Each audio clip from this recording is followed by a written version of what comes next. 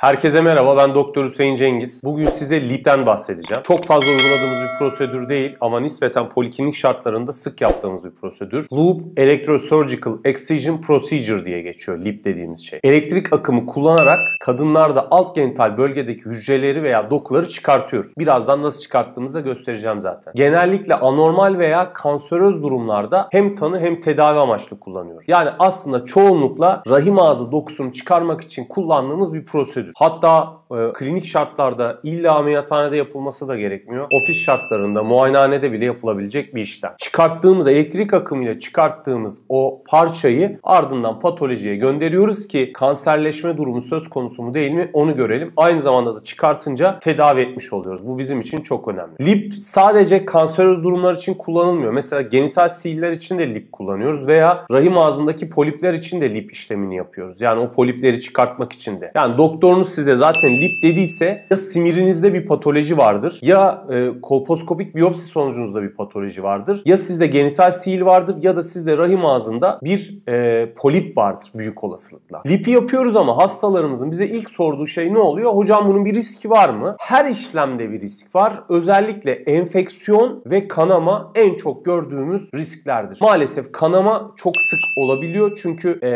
dokuyu çok çıkardığımız zaman rahim ağzı e, çok kanayan bir doku. Ameliyat sırasında, işlem sırasında çok dikkat ediyoruz kanama olmasın diye. O yüzden hastalarımızı çok sıkı kontrol ediyoruz. Hatta bazen bir gece yatırabiliyoruz bile hastaları sırf kanamayı kontrol etmek amacıyla. Ama muntazam, dikkatli bir işlem yapıldığı zaman bu komplikasyonlar minimale iniyor. Bunun dışında tabii rahim ağzı dokusunda böyle skarlaşma olabilir. Yani orası kestikten sonra kötü iyileşebilir veya gebe kalmada sorunlar olabilir. Çok büyük bir rahim ağzı dokusu çıkarılırsa sonraki olası gebeliklerde düşük veya erken doğum riski bir nebze de olsa artabiliyor. Burası biraz sıkıntılı. Tabii lip dediğimiz zaman biz hastaya LEEP göreceksiniz zaten videoda yazacağız. Doktorunuz bir kere size işlemi detaylı böyle anlatacak işte. Ne yapacağım yapacağım, ne keseceğim, neden yapıyorum bunu mutlaka anlatması lazım size. İşlemin nerede yapılacağı vesaire ve sizden bir aydınlatılmış onan belgesi imzası alacak. Yani sizin bu işleme e, onan verdiğinize, izin verdiğinize dair bir imza atacaksınız ve aklınıza takılan her şeyi mutlaka hekiminize sormanız gerekiyor. Mutlaka doktorunuza kullandığınız ilaçları, sigara içiyorsunuz, sigara, alkol vesaire bunların hepsini mutlaka bildirin. İşlem yapılırken de adet döneminde olmamanız önemli. Tercihen adet dönemi olmamanızı istiyorum. Eğer bu sedasyonla anestezi anesteziyle yapılacaksa bu işlem ciddi bir anestezi uygulaması yapılacaksa ki genelde öyle yaparız. Sedo analjezi ya da genel anestezi yaparız. Mutlaka aç olmanızı tercih ediyoruz. Bizim için çok önemli ve işleme gelmeden önce rahim içine işte bir tampon, bir vajinal krem, bir vajinal yıkama gibi işlemler veya cinsel ilişkide bulunmayın lütfen işlemden önce. Mutlaka gelirken de yanınıza e, bir böyle pet getirebilirsiniz. Hijyenik pet. Çünkü ameliyattan sonra siz biraz akıntınız ve kanamanız olacak ufak ufak. Onlar açısından lazım olabilir. Ameliyattan önce siz size ne yapılacak? Servise çıkardık sizi katta. Benim çalıştığım hastanede dördüncü katta. Önce sizi soyup bir ameliyathane kıyafeti verecekler. İşlem öncesi tuvalete gitmenizi isteyecekler. Tuvaletinizi bir yapacaksınız. Daha sonra sizi ameliyathaneye indirdikten sonra uyutacağız veya işte bayıltacağız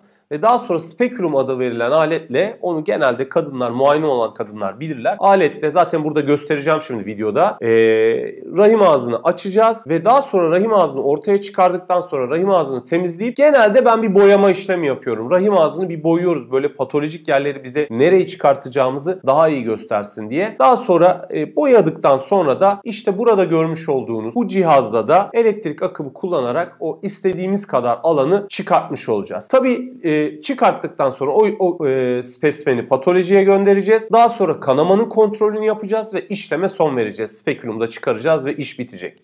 Lipten sonra doktorunuz bazen bir gece tutabilir bazen hiç tutmayabilir. E atıyorum sabah yaptıysam ameliyatı ben akşamına taburcu ediyorum hastayı. Eğer akşam yaptıysam akşama doğru yaptıysam öğleden sonra yaptıysam bir gece yatırıyorum kontrol ediyorum. Hijyenik pet mutlaka önemli. Tabi işlemden sonra hafif kramplar, lekelenme tarzında böyle akıntı, kanama bunlar olabilir. Özellikle işlemden sonra vajinayı yıkamamanız çok önemli. Biz size bir antibiyotik vereceğiz profilaktik kullanmanız için. O antibiyotiği de muntazam kullanmanız gerekiyor. Unutmayın çok önemli. Antibiyotik antibiyotiğin nasıl kullanıldığı, kullanılacağını da doktordan veya eczacıdan dikkatli bir şekilde öğrenmeye çalışın. Çünkü kimisi tok karnı, kimisi aç karnı. Özellikle e, kullandığınız ekstra ilaçlar varsa bunları mutlaka doktorunuza söyleyin. Kan sulandırıcı aspirin gibi vesaire başka kan sulandırıcılar gibi veya tansiyon ilaçları gibi. Doktorunuz size daha sonra bir kontrol süresi verecek. Genelde bir hafta sonra kontrole çağırıyorum hastayı ve genelde bir hafta 10 gün içinde de patoloji sonucu çıkıyor. Esas final patoloji. Gerçekten sonuç önemli. Final patolojide bakıyoruz ve diyoruz ki evet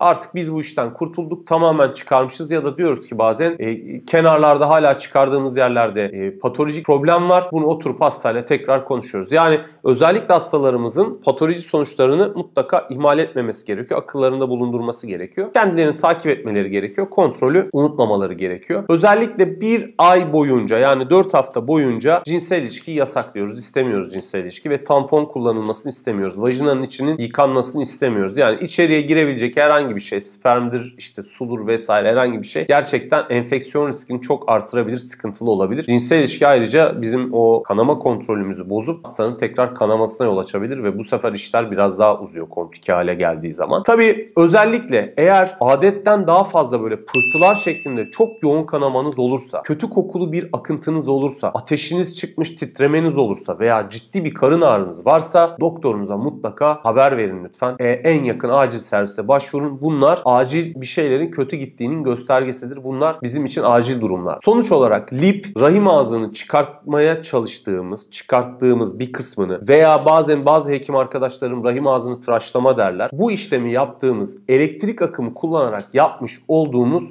bir işlem. Ee, bunun dışında eğer hekiminiz size lip yaptırmanız gerekiyor diyorsa lütfen onun sözünü dinleyin. Çünkü genelde lip prekanseröz durumlarda e, kullandığımız bir işlemdir. Ama tabii ki aklınıza takılan her şeyde doktorunuza sorun. En ince ayrıntısına kadar sorun. Çekinmeyin. Çok önemli. Kafanızın e, hiçbir şekilde şüphe olmaması, rahat olması. Biz de bunu istiyoruz hastalarımızdan zaten. Benim söylemek istediklerim bu kadar. Eğer size özel bir durum varsa yorumlar kısmında bana sorabilirsiniz.